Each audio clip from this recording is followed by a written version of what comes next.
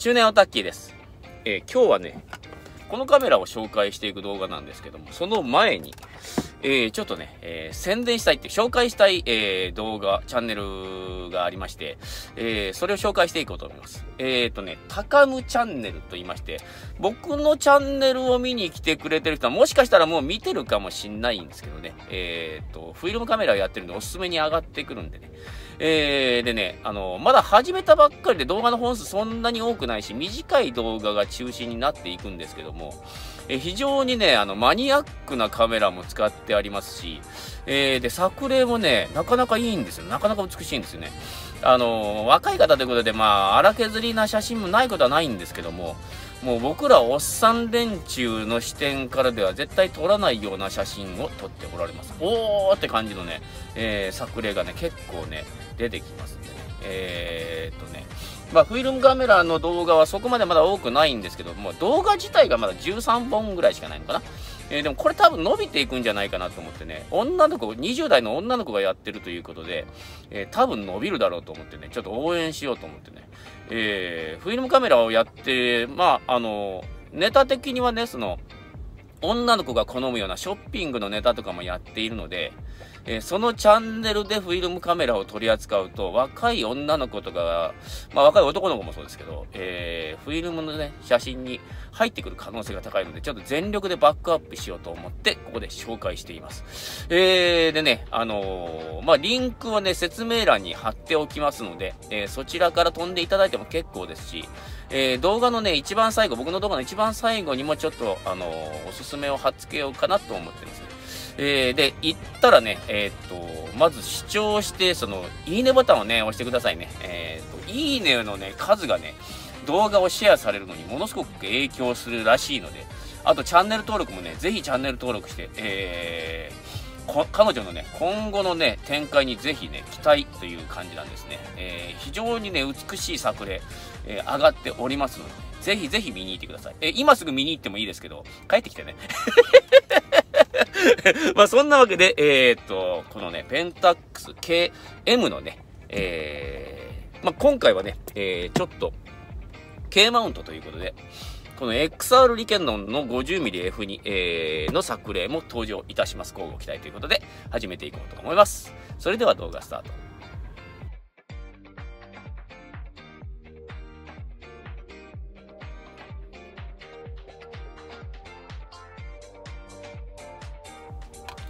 えー、このペンタックスの KM なんですけどね、今、今ね、デジタルで売られてるのは K-M ですけど、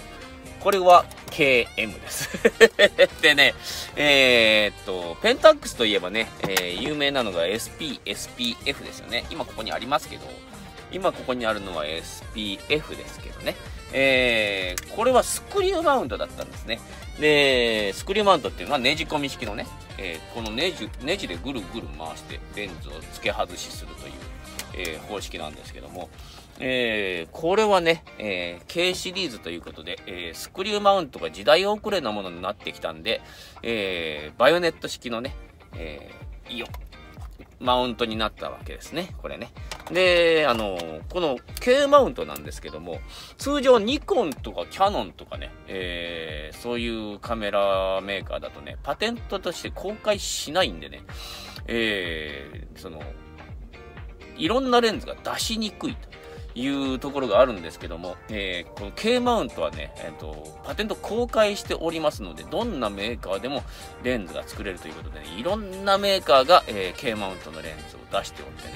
えーそこもね、外国製のメーカーとかも楽しめる、えーカメラになってます。で、このカメラなんですが、基本的にはね、えーペンタックスの SP シリーズを発展したような感じになっておるんですけど、感触悪かないんですけどね、感触僕としては SP、SPF のがまあ好きですけどもね、あのーこれシャッター速度がちょっと狂ってたんで調整したんですけど、底蓋を開けて開けたら、あの、開けたらね、あのーペンタックスの SP とか SPF に比べてね、だいぶ簡素な作りにはなってました。えーただ信頼性は高いようで、えーペンタックスといえばね、この K シリーズっていうのは KX、K2、KM と出てるんですけど、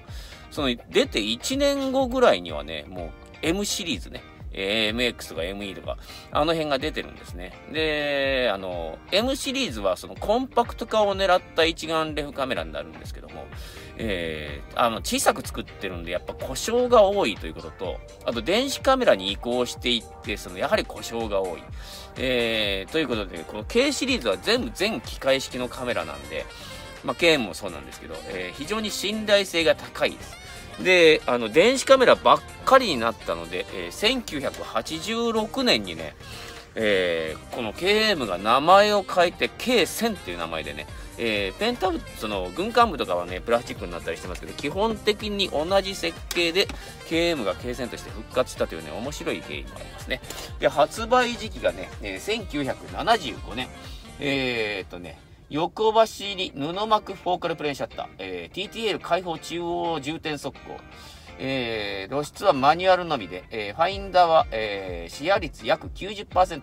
倍率0.87倍ということですね。えー、でね、まあ、マウントなんですけど、K マウントになってるんですけど、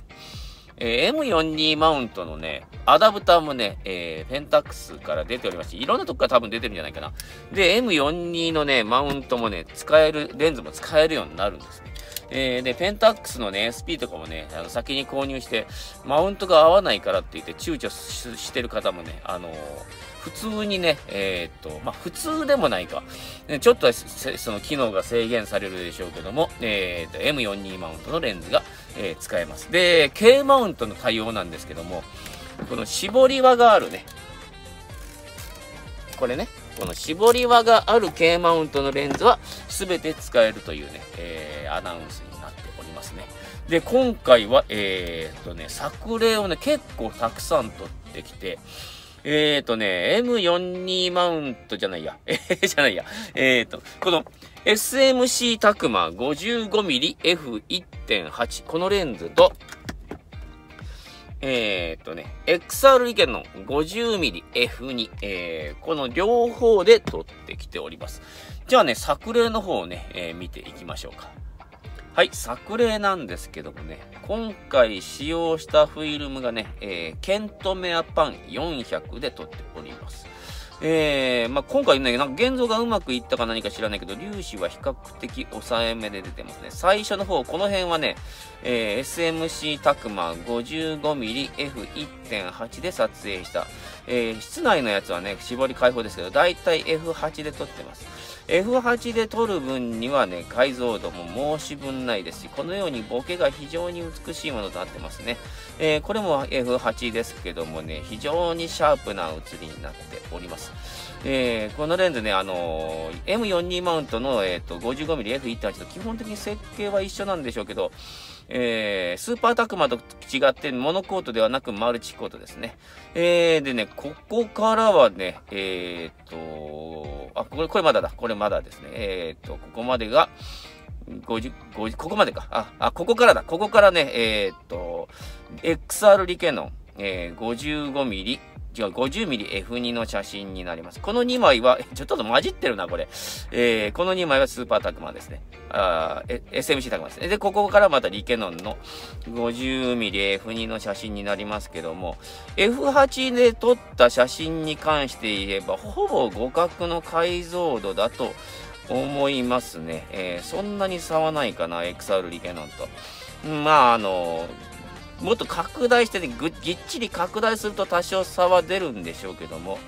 えー、XR リケのね、解像度お化けということなんですけどもね、えー、SMC タクマもそんなに負けてないぞという感じですね。えー、で、今回はね、えー、っと、何ですか、えー、比較のね、えー、全く同じ被写体、えー、同じ絞り、同じシャッター速度で、え比較の写真も作ってみました。えそれがこれです。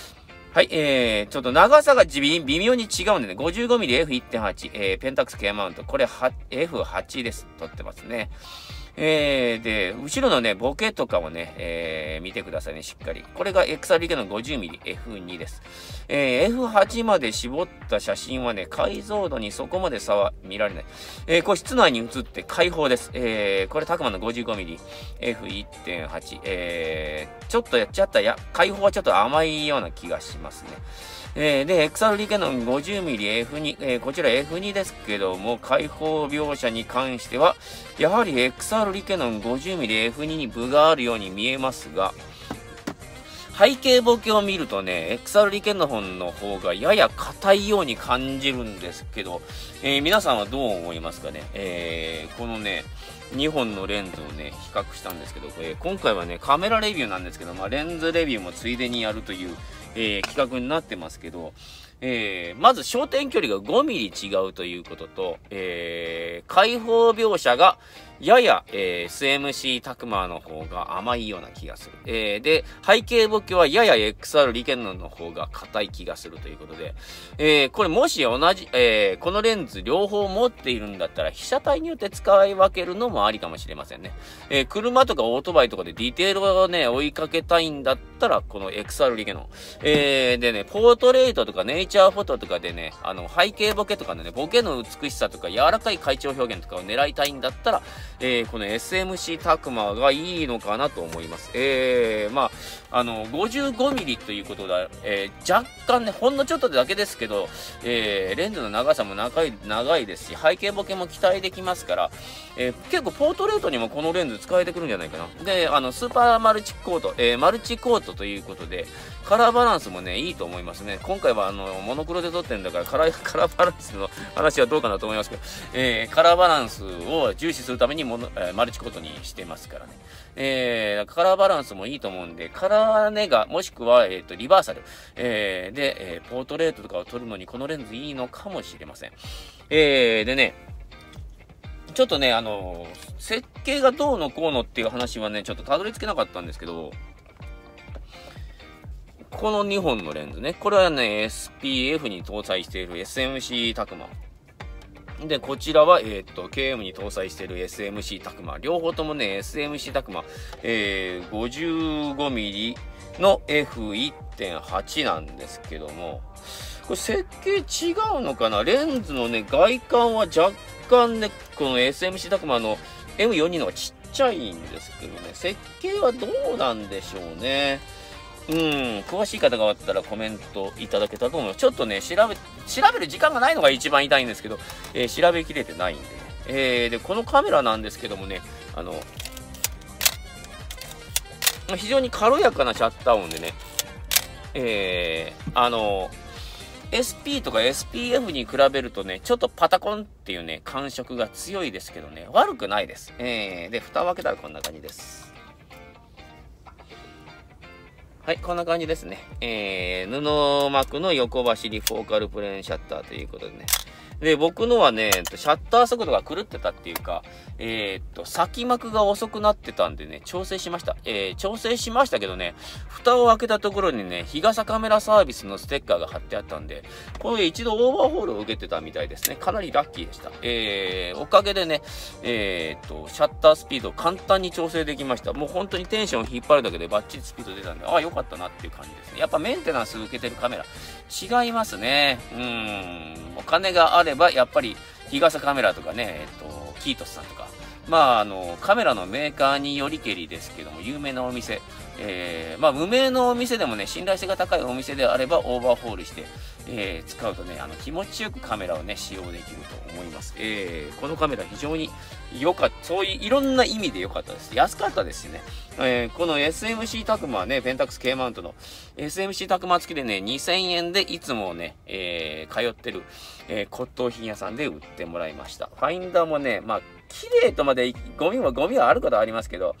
えー、比較的良かったですし、露出系もちゃんと動いてますんでね、本当にいい買い物だったと思います。露出系はね、えっ、ー、と、LR442 個で、えー、動作しますので、え、非常にね、安上がりですし、えっ、と、露出系にしか電池を使わないんで、結構長持ちするんじゃないかな。これ電池長いこと入れてますけど、まだ動いてますもんね。うーん、いつまで動くんだろう、一体。そういうレベルの、えー、もうこれバッチリ今ね、露出系精度出てますけども、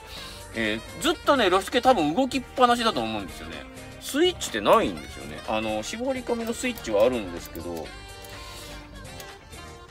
それ以外はないんですね。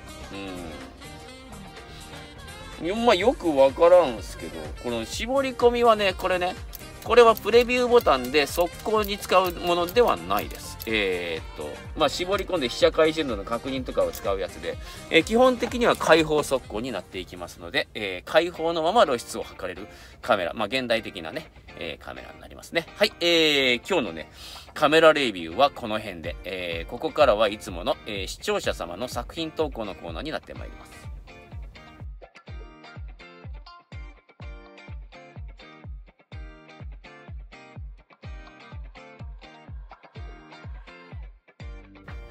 作品投稿のコーナー。今日はトップバッター、サムライジャパンさんから2枚ですね。えー、っと、1枚目がね、エビス岩って読むかな？これ、エビス岩。2枚目が地元の神社でということで、えー、ともにね、カメラ、ツアイスイコンタ520-269ですね。えー、フィルムが富士プロ 160NS 仕様ですね。えー、これ写りなんですけども、これ1枚目、えー、素晴らしいですね。ちょっと僕らのね、地元では絶対に見れない写真。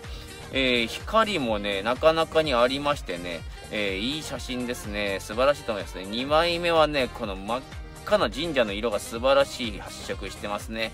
えー、本殿の終了に疲れて撮りましたということですね。コロナに感染せず、取り歩きできるよう、皆様の分もご祈祷、えー、してまいりましたということで、新年のね、えー、祈祷をしてきたということですね。まあ、仕上がってきたら ちょうどこのぐらいの時期に フィルムなんでね、なってくるんですけども、まあ、半月ぐらいはかかってしまうんでね。えー、サムライジャパンさんありがとうございます。いい写真でしたね。えー、次、一都市級さんから2枚。えーとね、1枚目が綿帽子、2枚目がある冬の日ということで、えー、カメラどちらもオリンパス OM30、えー、随行 5mm F2.8、コダックゴールド200ということですね。で、1枚目から行くんですけどね、これあの、売れ残りの柿っていうんですか、これもう素晴らしい写真になってますが、できればこれ真っ黒で撮りたかったですね。まあ仕方ないっちゃ 100mm のレンズつけてた仕方ないっちゃ仕方ないんですけどね、2枚目の方はね、ちょっとね、水平が狂っておりますね。これ水平を直したらかなりいい感じの写真になるんじゃないかなと思いますね。後ろに何もないんじゃなくて、あの、ちょっと建物が写ってるのがポイントですね。で、1枚目の写真はね、えっと、僕で、僕的にはやっぱりトリミングしかも逃げ道はないのかなということで、まあ、こ、まあ、こんな感じですかね。まあ、まあ、マクロレンズがあったら最高だったんでしょうけどね。一としきさんありがとうございます。えー、っと、次が井上聖さんの、えこれね、3枚組写真ですね。えー、人々が振り向くとき、振り向かないときっていうことで、1枚目が、えー、キャノン EOS M2、えー、メイケ 35mmF1.7、えー、2枚目の3、2枚目と3枚目がソニー DSC-RX100 ということで、えー、っと、少し前のライブ配信での最近のフィルムはも、最近フィルムはもったいなくてシャッター切る回数が減った。1本入れたまま1年回っちゃってる時がある。1本に式が全部入っててそれもいいねという。えー、やりとりからこの組写真を思いつきました。えー、1枚1枚は作品というほどのものでもない記録写真というスナップですが、同じ場所に飽きずに通ったため、この組写真が完成しましたということなんですけどね。えー、これで、春、え夏、まあ冬っていうことで、まあ、さよ、くを言えば3枚目がね、もうちょっとあの、カッパが残ってたらよかったですね。僕のね、組写真はね、あの、ルールとして3枚までということになってるんで、まあ、あの、そこが残念ですけど、アイデアは素晴らしいと思います。これ面白いと思いますね。えー、結構ね、えー、定点で、えっ、ー、と、一年中撮り続けるっていう手法はありといえばありなんで、これは面白かったと思いますね。はい、井上ひじさん、ありがとうございます。えー、っと、次が、えー、ポンポコさんですね。えー、っと、作品投稿します。ミノルト XD に詰めていたフィルムがようやく取り寄りましたので投稿します。タイトルは、えー、小春日和の午後。カメラミノルタ XD レンズ、えー、あ、ミノルタ XD、えー、レンズが、えー、MD ロックオール3570。えー、フィルムがコダックゴールド200ということですね。えー、で、まあ、これ紅葉の時期に撮られた作品になるんですけども、紅葉の色がね、ロックオールレンズでね、非常に鮮やかに映っておりますね。光はそんなにない感じなんですけども、ミノルトのレンズということでね、やはり、ね、発色が素晴らしいと思います。えー、ただこれもね、ちょっとね、えー、右半分はもしかしたら、ちょっと省いてもよかったかなって感じで、僕だったらトリミングしますかね。こんな感じ。こんな感じですけど、どうでしょう？えー、まあ人の作品にね、手を出すのはあんまりじゃないですけど、僕の好みがこんな感じなんでは あの、そこはね、あの、ご了承いただければと思います。えー、ポンポコさんありがとうございます。これ、本当にいい色出てますね。コダックらしいと思います。えっ、ー、と、1、2、3、4、もう一人ですね。えっ、と、これは、えー、8、キアリナさんでいいのかな？キアリナさん。えー、初投稿ということですね。えー、っと、ミノルタレポの動画を拝見させていただき、私も撮ってみました。目測式のピント合わせはなかなか難しいということですね。えー、タイトルが1枚目、マガモの散歩。2枚目が銅像ということでね。えー、作品なんですけどもね、コダえフィルムがコダックカラープラス200で 2, の2枚とも同じということですね。作品なんですけどもね、これやはりレポいいですね。これものすごい描写。これ、これがハーフとはものすごいディテールだと思いますね。で、2枚目もそうですけど、えー、銅像のね、あの、模様、模様っていうんですか、これね、一つ一つがね、ものすごいディテールで表現されていると思います。これ、エキスポシティで撮影したもので、一番近い距離0.6メートルで撮影してみますということですね。えー、まあ、最短でもね、背景ボケはもう、まあ、まあ、そこそこにボケてますけども、まあ、ハーフカメラということで、ボケは弱めなんですけども、やはりね、ミノルタレポ、レンズいいですね。僕のレポはね、ちょっと露出オーバーになってしまってるんですけども、えー、シャッター速度が遅くなってるんだと思うので、えー、まあなん簡単なことですね。シャッター速度を早めに設定するか、絞りを、えー、小絞りに設定するか、どちらかをすればね、えー、まあ、いい写真になっていくと思うんですけど、僕の場合はね、ちょっといろんなカメラで撮るスケジュールがいっぱいいっぱいで、レポの2回目がなかなか来ません。まあ、そんな感じで、えー、と、作品投稿のコーナーはここまで。えー、ここからはね、俺のカメラのコーナーになってまいります。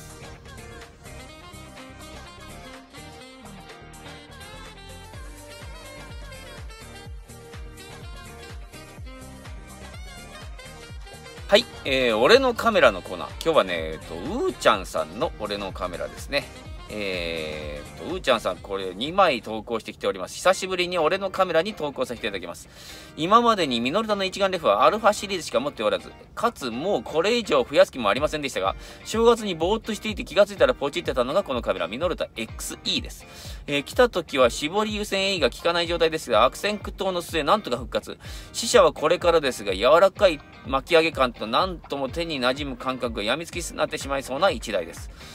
えー、ちなみにこの2枚の写真はパナの FZ1000 でクリエイティブコントロール機能を使って撮影してみましたということですね。まあ、デジタル写真らしい、えー、これいい写真になってますね。ついてるレンズは MD ロックコールの 50mmF1.4 なかなかいいレンズがついております。えー、っと、XE なんですけど、巻き上げ感が滑らかということで、これ XE に通じるものがあるのかな ?XE は僕まだね、触ったことがないんですけどね。えー、チャンスがあれば所有したいところですね。はい、うーちゃんさん、ありがとうございます。えー、今日の動画はこんな感じになりますね。えー、冒頭で申し上げましたけどね、えー、っと、なんだったっけ？高ムチャンネルさんね。高ムチャンネルさんの方、ぜひぜひね、えっ、ー、と、今からでもね、ご訪問いただければと思います。えー、ステイホームの中ね、あの、時間は多分ね、たっぷりあるっていう人がね、多いと思うので、えー、じっくりね、あの高ムさんのね、え写真をね、見て、女の人、え20代の女の人がね、えフィルムカメラを使うと、こんな感じで撮るんだっていうのをね、えー、ぜひね、味わってみてくださいね。で、これからね、動画、えどんどんアップしていくということでね、あの、やる気を見せておるようなので、ぜひともね、チャンネル登録をしてね、えー、お待ちください。最初のね、最初の4、500人までが本当にね、チャンネル登録厳しいんですよ。で、やる気がある人もね、ここで慣れてしまうっていうパターンがあるんで、良さそうだなってね、思う人はね、もうどんどん僕はバックアップしていこうと思ってます。えー、僕にとってプラスはそんなにないと思うんですよね。えー、僕のね、その動画を再生する時間を奪われたりする可能性があるんで、僕にとってプラスはないと思うんですけども、えー、フィルム写真がね、もう終わっていってるんで、本当にね、先日もね、富士カラーのね、えー、富士フィルムの、えー、プロ 400H がね、販売中止になるとか、そういうニュースも出ましたけどね、本当にフィルム写真終わってしまうので、ちょっとね、ここはね、皆さんでね、盛り上げて頑張っていかなければなならないということで、えー、これからも、ここぞというチャンネルを見つけたら、バンバンバックアップしていきますので、えー、皆さんもね、シェアにちょっとね、ご協力いただければと思います。えー、見に行くなり、いいねするなり、チャンネル登録するなり、もしくは、えー、動画のね、リンクをね、ツイートするとかね、シェアしていただければね、嬉しく思ってます。えー、まあ、今日の動画はこんな感じです。えー、いかがだったでしょうか？僕の動画にもね、ぜひぜひいいねボタンをね、押してくださいね。えー、ポチッと押すだけなんでね。えー、で、チャンネル登録ね、ぐんぐん増えております。結構な勢いで増えております。えー、絶好調なんですけど、まだまだ、えー、チャンネル登録増やそうと思ってますんで、チャンネル登録よろしくお願いします。えー、ちょっとね、動画のね、えー、収益がものすごく落ちています。再生回数はぐんぐん伸びてるんですけどね、収入がぐんぐん減ってます。えー、これね、あのー、緊急事態宣言になってね、YouTube の CM が減ってるんですよ。で、再生回数が多くても CM が入らないんで結局収入が、えなくなっていってるということでね、まあまあしょうがないんですけどね、早くコロナ終われよって話なんですけど、えー、ね、変異株もね、とうとうね、えー、日本国内で広がり始めてやばいなっていう事態になってきております。えー、皆さんね、そのちょっとでもね、あの、外出ね、しなくてもいい、これは今日やんなくていいだろうとか、え、そういう時はね、ちょっと控えめに、えー、で、え、っと、手洗いとかね、え、マスクとか、え、感染対策ね、感染防止のね、えー、対策をしっかりとしてね、お過ごしくださいませ。えー、本当にね、えー、今感染するとね、医療機関が逼迫してるんでやばいかもしれないんでね、えー、ぜひぜひ、あの感染防止の方よろしくお願いします。はい、えー、それでは今日の動画はここまで。えー、また次回。次回は、えー、次回こそはね、えー、オリンパス OM1 で、えーと、イルフォードデルタ100をね、100のフィルムを10まで減換して撮ったらどうなったかっていうね、えー、レビューをしていこうと思ってますんで、次回もまたご期待ください。はい、それでは、今日の動画はここまで。えー、ごきげんよう。さよなら。